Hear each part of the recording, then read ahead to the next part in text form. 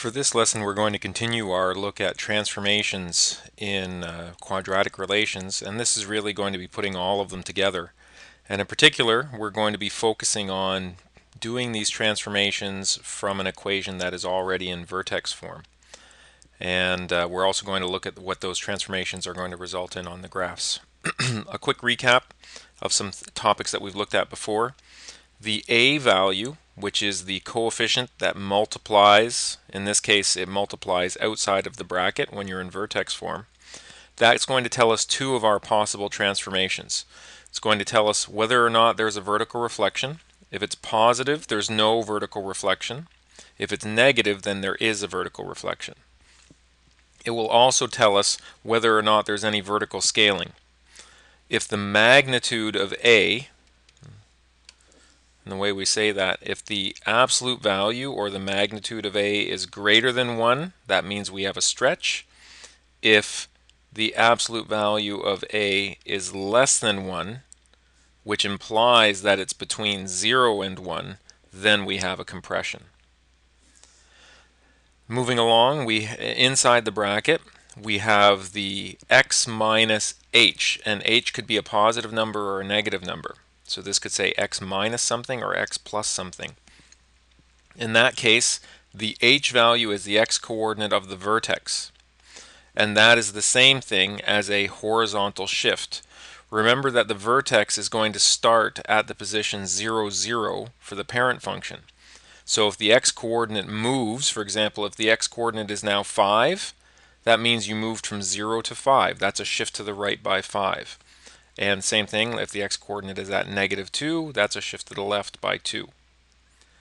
And then outside of the bracket, we have this constant on its own. That's the k value. That's going to tell us the y-coordinate of the vertex. Inside the bracket, we have to worry about the sign. The signs are actually opposite. Outside of the bracket, the signs are what we would expect. So a positive number means up, a negative number means down. Whereas when we're inside the bracket, a positive number actually means left and a negative number means right. And so we're going to see that as we work through some examples. And just a final note at the end here, when you are coming up with your transformations, when you're processing transformations, always read from left to right and always apply them from left to right. So we're not actually applying BEDMAS here. We're not applying order of operations. You're just going to trust me when I say this. We're going to read our operations from left to right. So we would process the transformations from A, then from H, then from K. All right, so let's move on. Now, if we want to graph this, there's three ways that we can graph a quadratic relation. And again, right now we are assuming we have a quadratic relation in vertex form. So it's going to look like that. You can always use a table of values. We have done this in this course, and I'm sure you've done it in previous courses. If possible, try to choose your x values for your table of values around the axis of symmetry. That's not always possible. Sometimes you're just guessing, in which case you may have to add some additional x values to make things work out. Then you calculate your y values and plot those points. Another way we can do this is we can read our transformations, determine what they are in the correct order. That means we're reading from left to right. And then we apply those transformations to some of the key points from the parent function. And what do I mean by key points from the parent function? Well, the parent function of a parabola is pretty easy to graph. There's a point here at 0, 0. There's a point here at 1, 1 and there's a point here at 2, 4. And then you have the same reflected points on the other side. So this one is negative 1, 1, this one is negative 2, 4. So those are what I mean by key points. So you could transform those key points and find the new points. We'll do one example looking like that. And then the way that I think is the preferred way, simply because I think in the end it's actually the easiest way, is determine the location of the vertex. That's coming from your values for h and k. Determine your step pattern as compared to y equals x squared. y equals x squared always has the step pattern 1, 3, 5, etc. So you can determine your new step pattern. Then you plot this vertex and you apply your new step pattern. You also want to make sure you can incorporate a vertical reflection into your new step pattern. You can just make these numbers negative, or you can just keep this in mind and, and decide whether or not you have to vertically flip over the parabola. And we're going to do at least one example of graphing that way, probably more. Okay, so first example. So we want to graph this by transforming some points from y equals x squared. So first of all, let me go ahead and graph those points just to remind you. Let's see what kind of scale do I want here. I'm going to make it a pretty small scale because I'm not sure what my graph is going to look like. So I'm just going to set it on a square scale and everything's going to be equal to 1.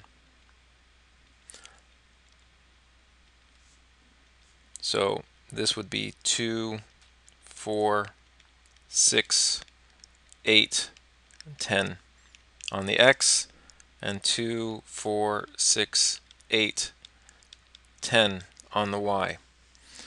So here is my parent parabola, y equals x squared.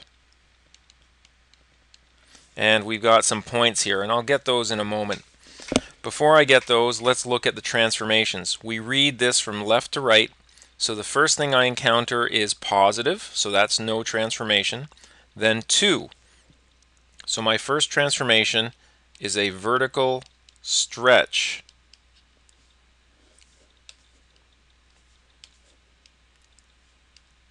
by 2. My second transformation is inside the bracket here. It's x minus 3, but we know when we're inside the bracket the sign is opposite to what you'd expect. So that means it is a horizontal shift. So normally we would associate a negative with going left, but because this is opposite, this is going to be a shift to the right by 3. And then here, it's outside the bracket, so now it's what we would expect. Negative, if what would we normally associate with a negative number, that would be down, and so that's correct here. So that's going to be a vertical shift down by 4. Okay, now let's talk about what I mean by transforming points from y equals x squared. Here's y equals x squared. And so let's talk about transforming points. Well, let's pick this point, 0, 0. And let's look at this transformation, vertical stretch by 2. So what does a vertical stretch by 2 affect? Does that affect the x coordinate or does that affect the y coordinate? Well, that's a vertical stretch. So a vertical stretch is going to affect the y coordinate. It's not going to affect the x coordinate. The x has to do with horizontal. The y has to do with vertical. So, when we say that we use the transformations to modify the points, what happens to the point 0, 0 when we apply transformation number 1?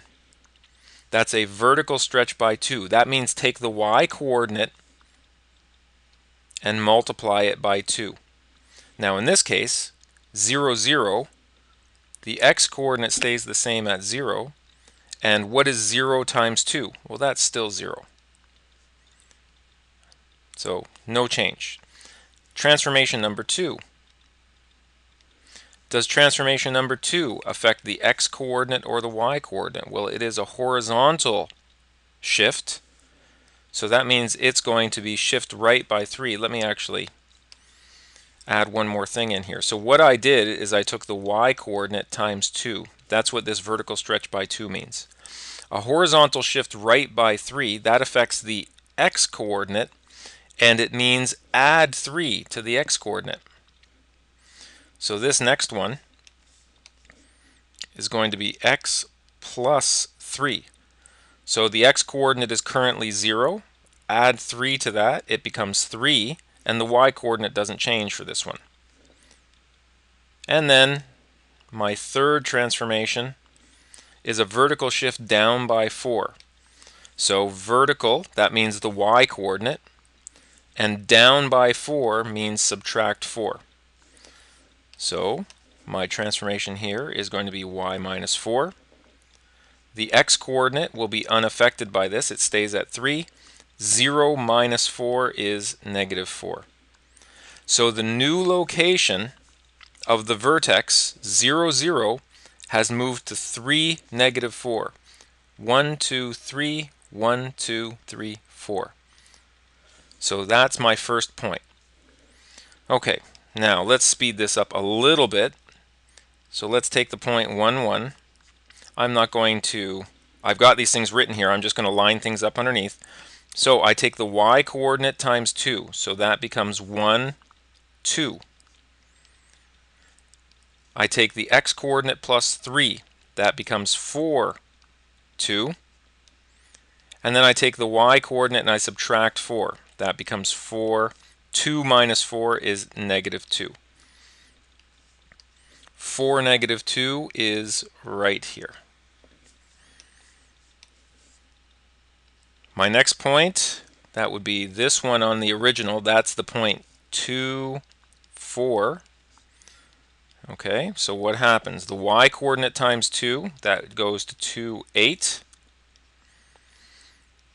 The x coordinate plus 3, that becomes 5, 8. And the y coordinate minus 4, that becomes 5, 4. 5, positive 4. That's right there. I have, over here I have x equals negative 1, y equals 1. Multiply the y coordinate by 2, that becomes negative 1, 2. Add 3 to the x coordinate, negative 1 becomes positive 2. And shift the y value down by 4 or subtract 4, that becomes 2 negative 2. 2, negative 2. And the last one, which is up here, it's this point, which is at negative 2, positive 4. And it becomes negative 2, and we double, multiply by 2, that becomes 8. Then we shift to the right by 3, negative 2 becomes positive 1, 8. And then we subtract 4 from the y coordinate. That becomes 1, 4. 1, 4 is right there. Now, if you were paying attention, you might have noticed once you had the first three points, you could have used symmetry, just like we did before. The axis of symmetry would have gone through the transformed vertex. So here is my transformed parabola. You can see obviously the vertex has moved from here to here and this new parabola is a little bit skinnier than the other one and that's because of this vertical stretch. Now that can be quite time consuming but it will get you to an answer and if this works for you then you should use this. If, if you like the way this works in, the, in your thinking then go ahead and use that. Let's take a look at another option when we're doing this using the vertex and the step pattern. So when we talk about using the vertex, the first thing that to recognize there is that in the parent, the vertex is starts at 0, 0, and the vertex is going to switch based on, this is assuming we're in vertex form, this is the new location of the vertex is going to be given by these two values. This value is going to have an opposite sign, so this positive 2 yields a negative 2, and this negative 3 stays negative 3. So my new vertex is at the point negative 2, negative 3. I'm not going to draw the original this time, I'm just going to put on the transformed one. Now, what about the step pattern? For the parent, the step pattern is 1, 3, 5, 7. So what is the step pattern going to be for the transformed function? Well, what does this do? I'm taking each step and I'm multiplying it by negative 0.5 or negative a half. So I'm multiplying each of those by negative 1 half. If you don't like the negative part, you can just try to remember that it's been vertically reflected. That works as well. So when I do that, 1 times negative a half is negative a half. This one, 3 times negative a half is negative 3 halves. Negative 5 halves, negative 7 halves. So I better put a scale on here. 2, 4, 6, 8, 10. 2, 4, 6, 8, 10. And so now here we are at negative 2, negative 3. And then my step pattern is going downwards because it's negative. So it's over 1, down a half. So I'm going to be part way in between there. And then it's over 1, down 3 halves. 1, 2, 3 halves.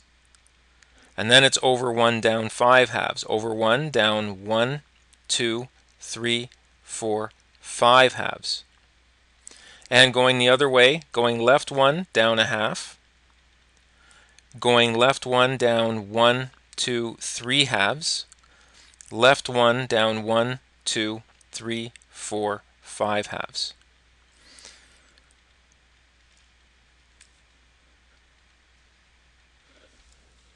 And there is my transformed graph. Now I don't know about you, but I think that using the moved vertex, the transformed vertex, and then the step pattern, that was a lot quicker and easier than doing all of those individual transformations on those points. However, it one being quicker and one being easier, that doesn't have a lot of value unless you get the right answers. So, when it comes down to it, you need to pick the one that's more reliable for you. Okay, so I have a bunch of additional examples here. So I'm not going to go through all of them, but I think I'll go through one or two more. And the big thing here is to be able to pick out the vertex. So what is the vertex in this case? It's going to be positive 5, this changes sign, and 4. And what is the step pattern going to be? And if you need to, of course, you can always write out the step pattern of the parent function first so that's going to be 1, 3, 5, 7, and so on. And then, so what is this one doing to that step pattern? It's just flipping it over. So this becomes negative 1, negative 3, negative 5, etc. So I find 5, 4, 1, 2, 3, 4, 5, 1, 2, 3, 4. There's my vertex at 5, 4. And now my step pattern is over 1, down 1, over 1, down 1, 2, 3, over 1, down 1, 2, 3, 4, 5. And because of symmetry, when I go left, down 1, those line up horizontally, and then over 1 more, down 3, over 1 more, down 5. And there is the graph of my transformed parabola.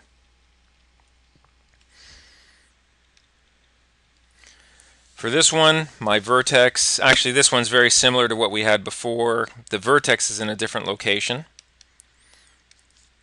But the step pattern used to be 1, 3, 5, 7. And now it's being multiplied by, we did a negative half, this one's positive a half. So this 1 becomes 1 half, 3 becomes 3 halves, 5 halves, 7 halves, and so on. I'm not going to bother graphing this one. Let's just put the vertex on there. Negative 3, negative 8. 2, 4, 6, 8. And then this parabola is going to be opening upwards because it's positive in front.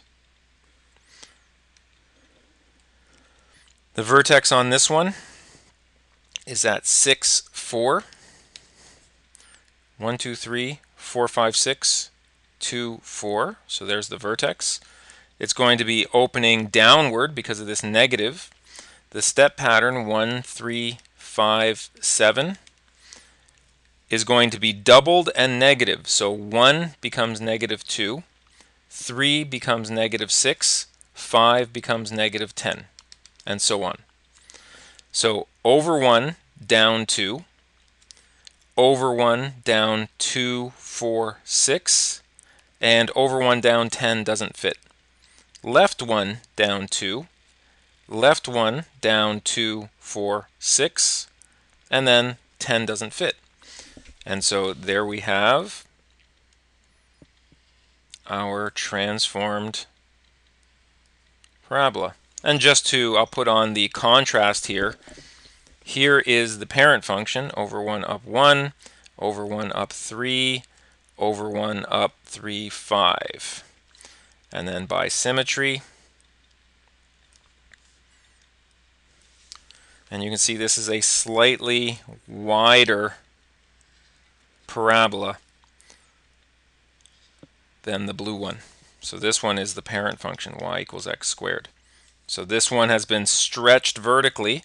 Obviously it's been reflected. It's also been stretched vertically, so it's a little bit narrower than this red one. Okay, I think that's it, unless we've got a particularly interesting example here. Just fill in the vertex, negative 5, negative 2 and the change in the step pattern is multiply by 3. So 1, 3, 5, 7 becomes 3, 9, 15, 21, and so on. This one has a vertex of 4, 5. The step pattern's been flipped over, so it's going to be negative 1, negative 3, negative 5, negative 7. No stretch here, just a reflection. Okay, and that's it for this lesson. I know I skipped over some of those examples, but um, I didn't see a lot of value in doing each one of those in such detail.